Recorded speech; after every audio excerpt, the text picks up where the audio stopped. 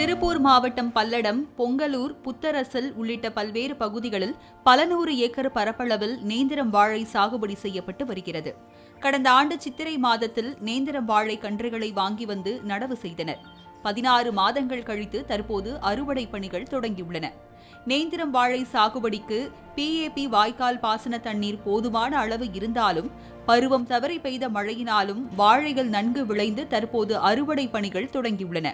நடவு கூலி களை எடுத்தல் மருந்து தெளித்தல் ஆட்கள் கூலி உரம் பூச்சி மருந்துகள் விலை என ஏக்கர் ஒன்றுக்கு நாற்பதாயிரம் ரூபாய் முதல் எழுபதாயிரம் ரூபாய் வரை செலவு பிடிப்பதாக வாழை விவசாயிகள் தெரிவிக்கின்றனர். தற்போது வாழைகள் நன்கு விளைந்துள்ளதால் ஏக்கர் ஒன்றுக்கு இரண்டு டன் முதல் இரண்டரை டன் வரை மகசூல் கிடைத்துள்ளதாக வாழை விவசாயிகள் மகிழ்ச்சி தெரிவிக்கின்றனர். ஒன்றரை வருஷம் ஆச்சுங்க வாழை வச்சு. இப்போ தான் அறுவடை பண்ணிட்டு இருக்கிறேன். அது காற்றடிச்சா சாயாம பார்த்துக்கோங்க அதுக்கு கட்டிக்கிறோம் டொயின் போட்டு கட்டிக்கிறோம் அதுவும் முறிஞ்சிட்டா எங்களுக்கு பாதி விலை தான் கிடைக்கும் முறியாமல் வந்து அப்படியே இருந்து வெட்டணும்னா எங்களுக்கு முழு விலை கிடைக்கும் கிடைச்சதுனாத்தான் எங்களுக்கு இதில் பாடுபட்டது போன்ற வருஷ காலம் பாடுபட்டதுக்கு எங்களுக்கு ஒரு நல்லது கிடைக்குங்க.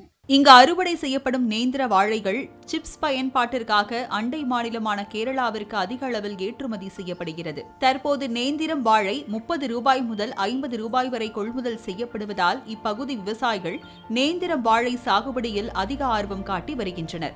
மற்ற பயிர் சாகுபடிக்கு அதிக அளவு ஆட்கள் மற்றும் கூலி தேவைப்படும் நிலையில் ஒரு முறை நடவு செய்து மூன்று முறை களை எடுத்து பதினாறு மாதங்களில் அறுவடைக்கு வந்துவிடும் இந்த நேந்திர வாழை சாகுபடி தங்களின் பொருளாதார பொருளாதாரத்தை உயர்த்தி வருவதாக மகிழ்ச்சி தெரிவிக்கின்றனர். போன வருஷம் வச்சிருந்த வாழை பழையன்னு காற்றடிச்சு பழச்சின்னு முறிஞ்சிருச்சு. ஏதாவது ந நஷ்டீடு கொடுத்தீங்கன்னா தான் நாங்கள் அதுக்கு வேறு கடன் வாங்கி போடுறோம் கடன் கட்டுற வழி என்னவோ அதுக்கு நஷ்டீடு கொடுத்தா தான் ஆக அரசாங்கம். நாங்கள் தமிழ்நாடு அரசுக்கு ஒரு கோரிக்கை வைக்கிறோம்.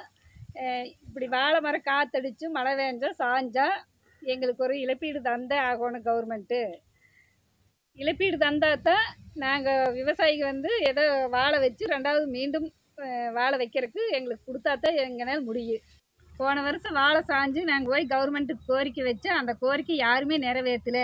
ஆனால் மழை புயல் சூறைக்காற்று போன்ற இயற்கை பேரிடர் காலங்களில் வாழை மரங்கள் அடியோடு முறிந்து விழுந்து பெரும் சேதத்தையும் பெருத்த நஷ்டத்தையும் ஏற்படுத்தி விடுவதால் இது போன்ற காலங்களில் அரசு இப்பகுதிகளில் ஆய்வு செய்து தங்களுக்கு உரிய நிவாரணம் வழங்க வேண்டும் என ஒட்டுமொத்த வாழை விவசாயிகளும் அரசுக்கு கோரிக்கை விடுக்கின்றனர். மாலை முரசு செய்திகளுக்காக பல்லடம் செய்தியாளர் சுரேஷ்குமார்.